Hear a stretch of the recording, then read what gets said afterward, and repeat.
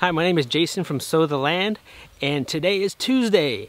And today is another Tuesday tip of the day. We like to keep these videos really short, quick, simple. The topic can be anything, from gardening, from chickens, from making food, to growing food, to building stuff. But today's video is about row covers.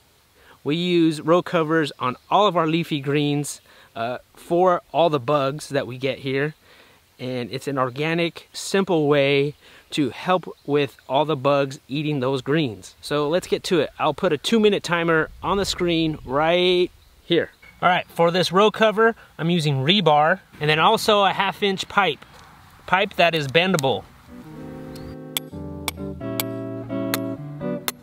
And then you're gonna slip the pipe over the rebar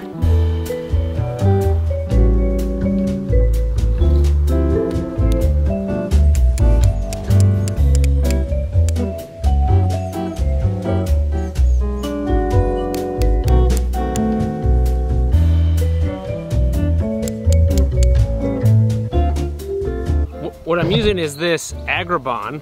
It's like a see-through material and it lets in the sun and it also lets in moisture.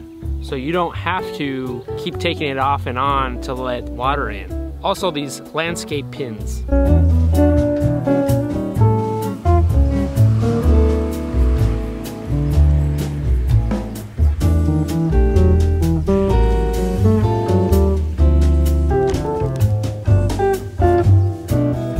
Like to pull it kind of tight and then twist it inside the fabric pin.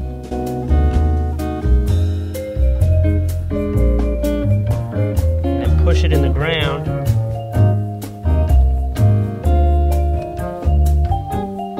Something I'm doing a little bit different this year is sandbags. You can easily buy sand and fill up these bags, but I'm using what we have here on our homestead and that is our creek. So I'm filling up these bags with uh, some dirt and some sand in our creek uh, for free.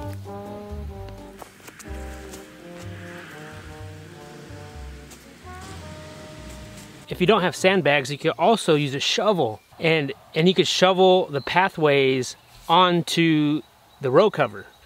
All right, that's it. Uh, very simple setup using Agribon row cover. Now I will leave links down the show notes of where you can purchase all of the tools that you see here. The half inch pipe I actually got at a thrift store, really cheap. I got a bunch of half inch pipe for practically nothing. And then the rebar is pretty cheap. The most expensive thing that you're gonna purchase here is the Agribon. And they sell at different lengths, different sizes. Now I will leave this on. It's pretty much set it and forget it.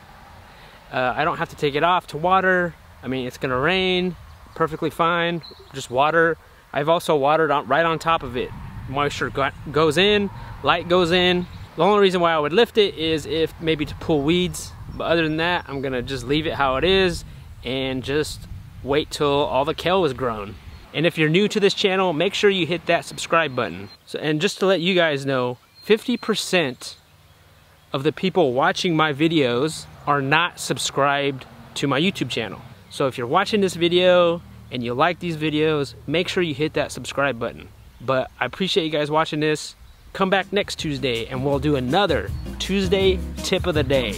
Thanks for watching. Bye.